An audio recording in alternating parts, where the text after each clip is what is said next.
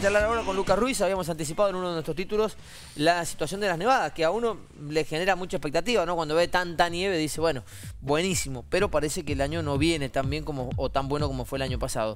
Él es glaciólogo, investigador del CONICET y este, siempre, cada vez que lo requerimos, está aquí con nosotros. Gracias eh, por tu tiempo, Lucas. Un placer, un gusto estar con ustedes de vuelta. Te levantás siempre temprano, eh, digo, no hemos alterado al menos eso. No, no, no, ya desde temprano, los chicos en la escuela y vine para acá, así que, pero bueno, igual es martes ya llegando a, las vacaciones de, invierno. falta poco. El tramito ahí, cuesta, cuesta un poquito el último tirón. Bueno, estábamos con muy buena expectativa porque veíamos mucha nieve acumulada, 18 días del paso internacional cerrado y uno suponía que el pronóstico era mejor que el del año pasado, pero no. Eh, la situación es mucho mejor que el año pasado. Si nosotros comparamos, o sea, vamos a los datos, los datos que, recauda el Departamento General de Irrigación o en las estaciones que tienen en la alta montaña, vamos a ver que comparado al año pasado, la cantidad de nieve que hay hoy a principio de julio es mucho más alta de la que, la que había el año pasado. Lo que pasa es que el año pasado nosotros lo recordamos mucho porque hubo unas nevadas tardías, entonces tuvimos nieve hasta bien entrada la primavera. Eh, pero este año, como ha comenzado el invierno, los datos son muy buenos. Eh, estaba revisando la última información que hay disponible en el Departamento General de Irrigación y mostraban que eh, no, digamos, estamos a valores de años eh, pre-mega eh, sequía. este, Para encontrar un año con un junio y un mayo tan nevador como los que tuvimos, tenemos que digamos, ir para atrás hasta el 2007, 2005, eh, esos años que fueron eh, bien nevadores. El problema o el pronóstico que estamos viendo a largo plazo es el pronóstico del el índice ENSO o el niño o la niña, que es este patrón de circulación eh, oceánica o de las condiciones del océano Pacífico, que muestra que es muy probable que entre julio y septiembre entremos en fase niña. Eh, la mm. niña para nosotros, para los Andes centrales, eh, en general son condiciones secas. Entonces es muy probable que el invierno no continúe tan nevador como este, eh, pero bueno, todo eso está por desarrollarse, porque al fin y al cabo las nevadas o los, eventos que generan nevadas en, esta región son eventos muy puntuales. Nosotros desde el instituto siempre decimos, sobre todo los meteorólogos que estudian estos fenómenos, que eh, el invierno o la nieve en Mendoza se arma de cuatro o cinco nevadas, ya tuvimos dos, tres grandes, así que con dos más podríamos estar muy bien. Y también es cierto que hay muchos lugares donde se tiene registro, ya estamos por arriba del promedio histórico, lo mm. cual es bueno. Claro, de todas maneras, digo, la, la, crisis hídrica persiste, no es algo que esto nos traiga una solución y que a partir de ahora cambia todo.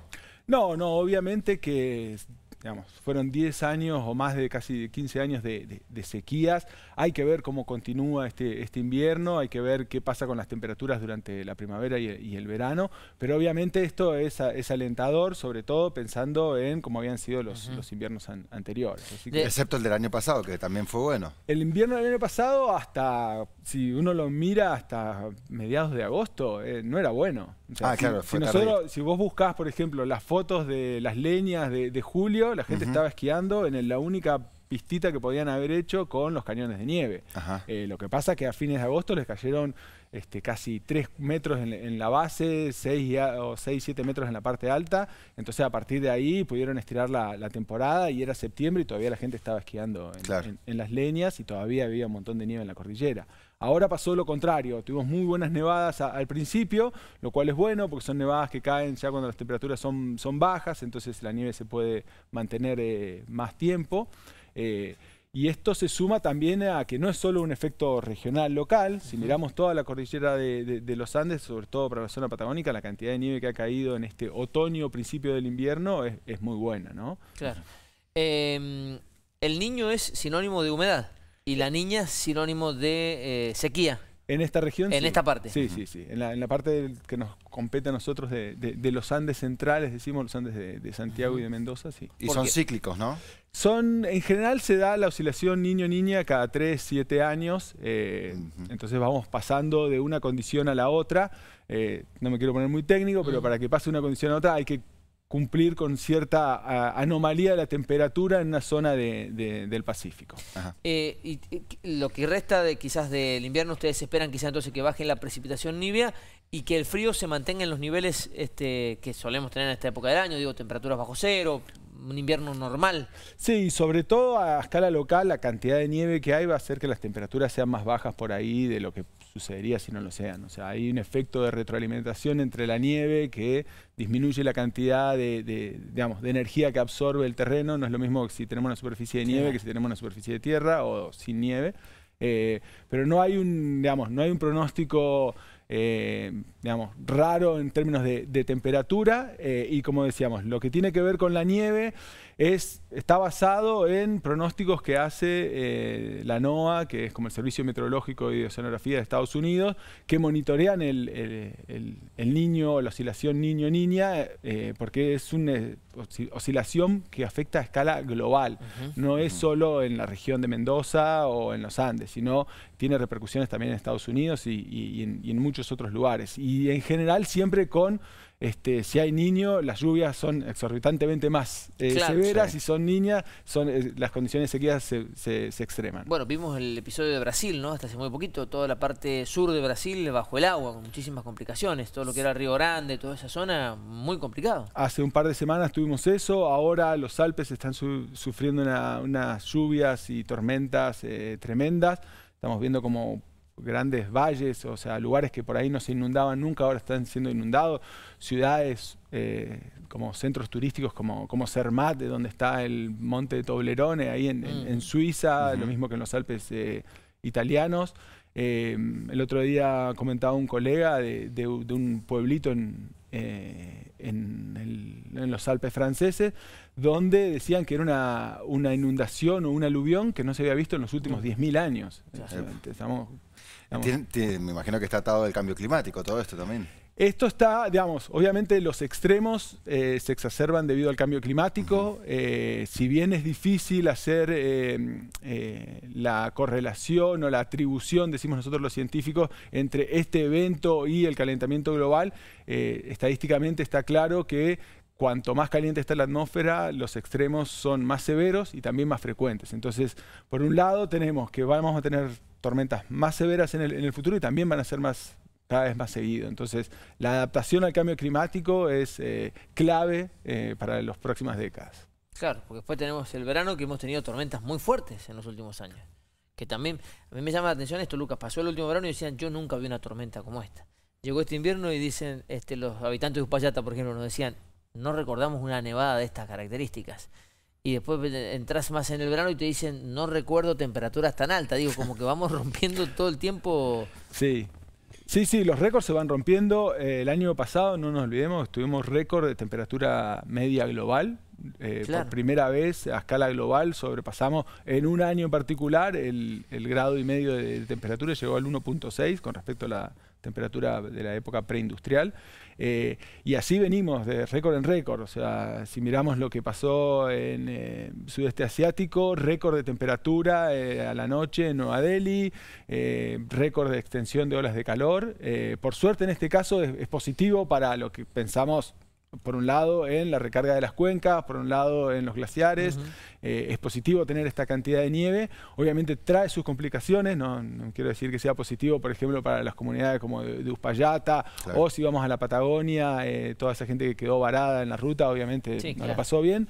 Este, pero para pensando en los glaciares, pensando en la nieve, pensando en la cantidad de agua que necesitamos para, el verano en esta zona, es alentador. Lucas, si ves que tomen cartas en el asunto, digo, los que tienen la responsabilidad de, administrar esta crisis climática, eh, ¿ves que se ponen manos a la obra o hay mucho discurso, mucho encuentro, mucha reunión y, poco de, hechos? Por ahora nosotros eh, vemos que hay, o por ahí lo que más se nota es justamente, ¿no? Se hizo la COP, se hizo la cumbre, se llegó a este acuerdo, se firmaron tales este, acuerdos, eh, y a la hora de las tomar acciones, por ahí todavía vemos que estamos muy retrasados. O sea, en, términos como, por ejemplo, eh, todo lo que tenía que ser con el, con el financiamiento de los países desarrollados, los grandes generadores del cambio climático, para favorecer el desarrollo eh, sustentable de los países por ahí en vía de desarrollo. Todavía eso a escala global no ha sucedido, eh, pero sí vemos que los países centrales están tomando acciones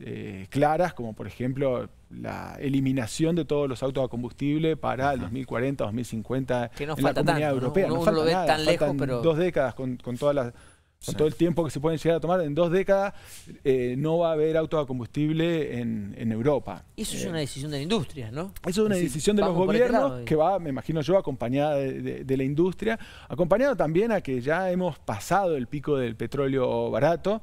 Claro. Este, hay grandes eh, campos de petróleo donde ya eh, Extraerlos va a ser muy es caro. más caro, se están quedando. Eh, puede Vaca ser- Muerta es un ejemplo, ¿no? Que es un, Vaca Muerta al contrario, Vaca Muerta se está empezando a, a desarrollar. Pero Nosotros digo, es más caro que no es eh, más- convencional. ah, sí, eso sí, sí, los, conven- los no convencionales son mucho Son más, caros, que los, co- que O sea, los está buenísimo convencionales. tener esa cuenca, pero sabemos que es más es más difícil extraerlo. y sobre todo es eh, viable económicamente en un momento de escasez de petróleo. Claro. Si estuviéramos 30 años atrás, eh, Vaca Muerta estaría ahí guardadita, tranquila, porque no, no darían los falta, costos, no, claro. no, sobre todo no darían los costos para sacarlo. O sea, una vez que sube el precio del petróleo, ahí se hace viable eh, explotar los no convencionales. Y vamos a ir a... Perdón, dale. Sí. No, no, digo, y ahí me parece esta gran parte de, de la lucha contra el cambio climático. porque muchas veces escuchamos y dicen, bueno, vos en la casa podés cuidar tomando esta acción, no sé, separando la basura, que está buenísimo, pero en realidad los, los grandes transformadores son las industrias, los, en este caso los países del primer mundo y demás. Sí, sobre todo los grandes emisores son los países más desarrollados. Eh, a la cabeza históricamente está mm, Estados Unidos. Hoy en día eh, compiten cabeza a cabeza con China. Claro. Eh, y en tercer lugar está la Comunidad Europea. Eh, esos son los que han generado, si queremos decir, el, el cambio climático debido a la cantidad de emisiones de gases de efecto invernadero que han ellos emitido desde la revolución industrial a- a- Claro. hasta la fecha. Eh, sin embargo, nosotros todos tenemos un- un- una cuota. Sí, claro. Argentina tiene su, su- su cuota si pensamos que tiene campos de petróleo, que tiene eh, un gran desarrollo de la ganadería, mucho cambio de, de- de uso del suelo. Este, pero sobre todo nosotros a escala local lo que tenemos que pensar es en nuestro ambiente cercano, ¿no? Eh, pensamos acá eh, en el río, en cuidar el pedemonte, en qué estamos haciendo, por ejemplo, con los desarrollos inmobiliarios en la zona productiva. Entonces eso genera Claro, un cambio de uso del suelo, un cambio en la reflectividad de vuelta de- de- de- del terreno, que hace que a escala local la temperatura aumente, debido Claro. a que antes teníamos, no sé, una plantación de vid o frutales. Olivo o lo que sea, y ahora un es un barrio, Sí, y que cada vez hay más, ¿no? cada vez hay más.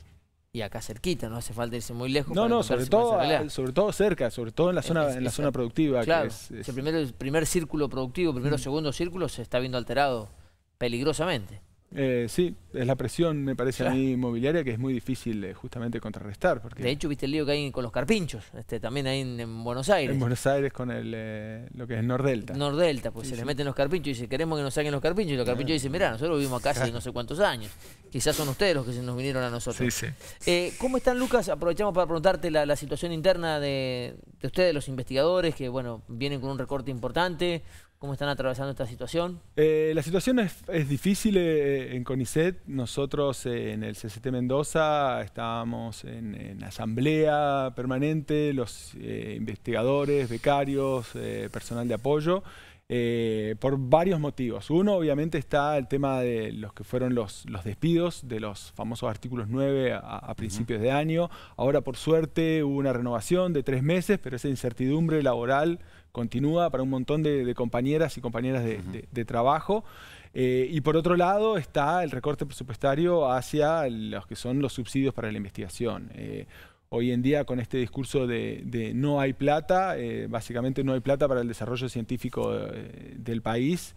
Eh, entonces estamos viendo, por un lado, que muchos de los proyectos que teníamos para encarar este año, para desarrollar este año, no los podemos hacer. y eso hace que, por un lado, obviamente, los resultados no lleguen, pero también, por otro lado, muchos de nuestros colegas, eh, y sobre todo los más jóvenes, los que están todavía en vías de desarrollo, elijan emigrar. O sea, hoy en día la fuga de cerebros se está dando eh, culpa justamente de la falta de oportunidades que ven eh, los jóvenes en, en el sistema científico de, y- Argentina. Y qué importante que es toda la tarea de ustedes para todo esto que se viene, ¿no? También porque tener datos sobre hacia dónde va la energía te permite también estratégicamente elaborar ciertas políticas, ¿no? Exactamente, o sea, si pensamos en, en- en la información, por ejemplo, estamos hablando de, de nevadas, eh, está la información del Departamento General de Irrigación, pero también está la información del Servicio Meteorológico Nacional, están las estaciones, por ejemplo, que el Instituto tiene. Hoy en día nos cuesta un montón tratar de mantener la red de, de estaciones meteorológicas, estamos como, como muchos este, cruzando dedos de que no se rompa ningún sensor, porque hoy en día los No lo subsidios no, reponer. no lo podemos reponer. Este, y sobre todo lo que vemos es una incertidumbre porque lo que decíamos el otro día, eh, no es que hay un maltrato hacia los científicos, directamente no hay trato. O sea, uno eh, intenta hablar con las autoridades para saber, para tener alguna certeza de si va a pasar o no va a pasar, por ejemplo, un subsidio. Nosotros, por ejemplo, el año pasado ganamos un subsidio eh, para vinculación internacional. son subsidios que daba el Estado argentino en base a convenios que tiene con, Francia. Argentina y Francia tienen un historial científico muy rico de más de 50, 60 años de colaboraciones.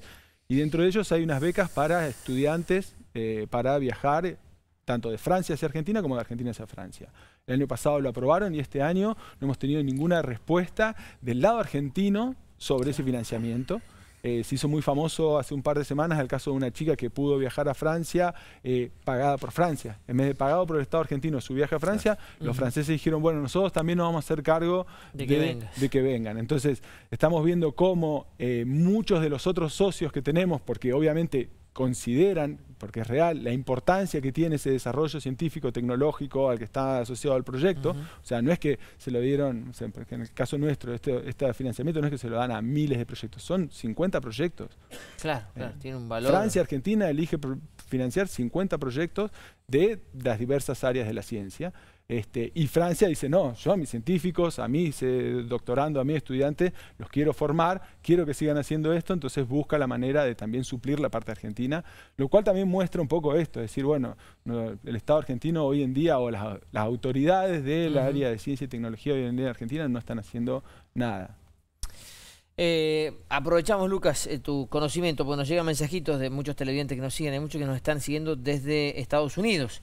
Este, entiendo, y de algunos otros sectores, por supuesto. No sé si tenés algún dato del huracán Beryl, me dicen acá, yo no tengo demasiado conocimiento. No, no, mi, mi, área son los glaciares, ah, es la montaña. Eh, por suerte todavía huracanes en esas zonas eh, no hay, así que... Esperemos que siga así. esperemos que siga así. ¿Cómo está la situación de lo... A ver, para que la gente sepa también, ¿cuántos glaciares tenemos en, la montaña y en la parte de Mendoza y cómo les ha afectado, entiendo positivamente, estas últimas nevadas? Eh, los glaciares en Mendoza se cuentan por más de miles. Eh, tenemos más de mil y algo de kilómetros cuadrados eh, en glaciares de diferentes características.